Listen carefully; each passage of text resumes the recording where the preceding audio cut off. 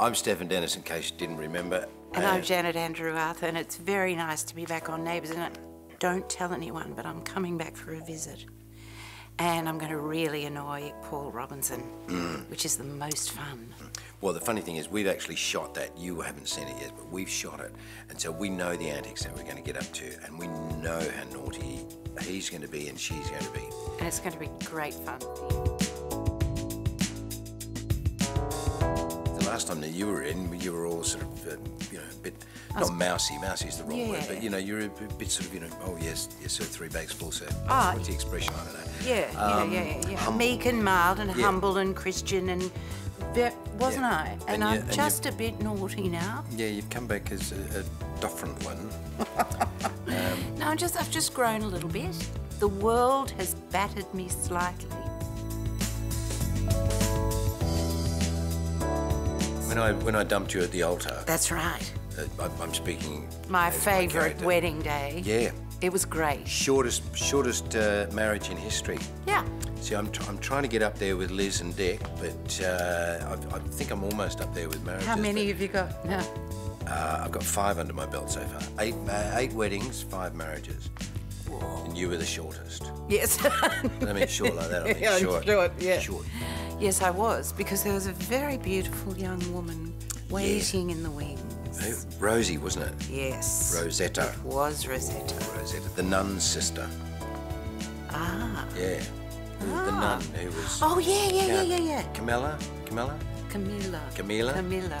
Yeah. Yeah, beautiful. And, um, Both beautiful girls. Yeah. Why didn't you marry both of them? Well, Paul tried to seduce the nun, and then when that didn't work, he obviously got onto the, daughter, to the sister. Yeah, but you were good for a minute when you were married to me because, Yes. The You thing ma- is- what, what is it? What do the writers always say? You make me a better person. well, you, I did, clearly.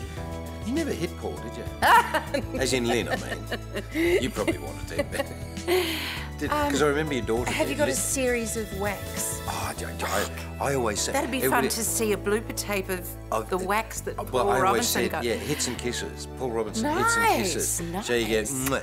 Yeah, no, I think if Lenny whacked you, you'd be knocked out.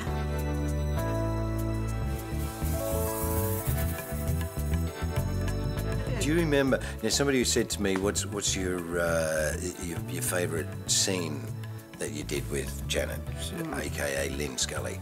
And do you know? It's I, I can't remember any particular one scene that we did together that stood out. That sounds really bad. It does They were all fantastic. That's why. No, no one in particular stood out. Um, but do you remember that when Charlie uh, was it Charlie? I think had taken the uh, taken the fake leg, and he was running around the house, and we were trying to get. Was it getting ready Was for the wedding? Oscar maybe? Oscar, Oscar, Oscar. Maybe Oscar. Not Charlie, yeah, Yeah. Oscar. And he was running around. I'm positive you were in the scene as well, and he was running because you were trying to catch him, and I was trying to catch him, and he's running through the set. I keep So forgetting through he's got a set- wooden leg. What are we thinking, girls? Oh dear, yeah. Why, why, yeah? Why is everybody so attracted to a one-legged man? there you go. There you go. I was not born in a trunk. You know, were you born in a trunk? Were Is that an expression? Yes, born in a trunk. It's a sh- an old showbiz expression from some film with Mickey Rooney and Judy Garland, I think. I was teaching music at, at, at a school, and the principal of the school asked me to put on a musical play at the end of the year with the year 10s. And I said, I don't know anything about theatre. And he said, Could you find out? So I went, I started a part time drama course. And after one year of part time study, I, sta I quit teaching, went to drama school full time for three years, and then have, have never taught since. Which I've just school? been an actor. Which drama? The National Theatre in Melbourne, Oh, okay, yeah. Um, which I- was the only school at the time. Because I'm fairly old. Stefan pretends he's not. I don't admire, admitting it. I, because I, I got booted out of the VCA. That was the best thing that ever happened to me. You got booted out. Yeah, best thing that ever happened to me in my career. Renegade. The parting words of the principal at the time were, Stefan, you're going to find it very difficult to work in this industry.